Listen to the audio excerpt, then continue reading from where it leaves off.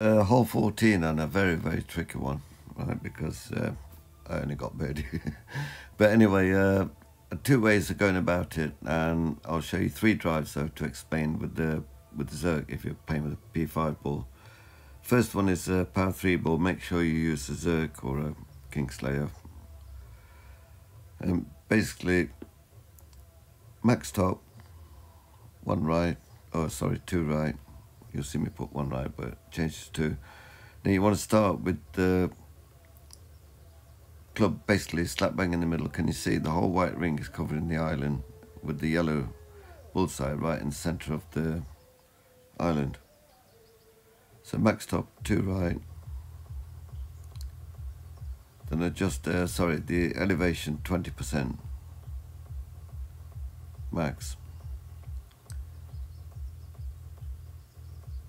And adjust and then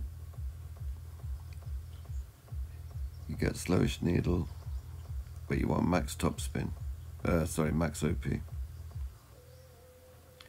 now this is the way I'll be going on my next account because like great shot.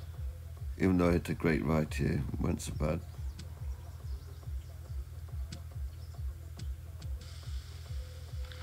Great left might have got me in trouble and there from there a wedge which I didn't bother you know because it was practice. Now with a power 5 ball I'm going to show you two replays because uh, show you what might happen if you decide if you only, got Zerk because you need the winds like under 7 mile an hour. And this is why I show you two drives. Now this is first one with the wind of 8.3 max top one right all guide like that. But then you, you know, I do adjust up, and you, of course you can adjust into OP.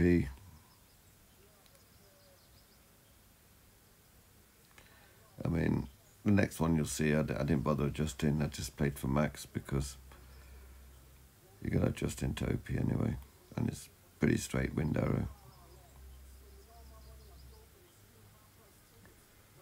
Then you see me here play max OP.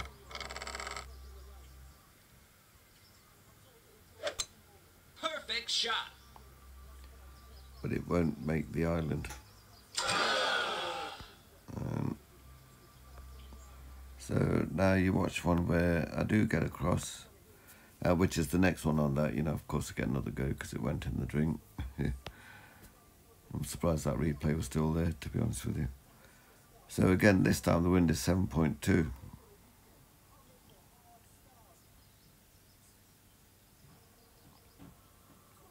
So again, max top one right, and this time it started from max, didn't bother adjusting because it's pointless.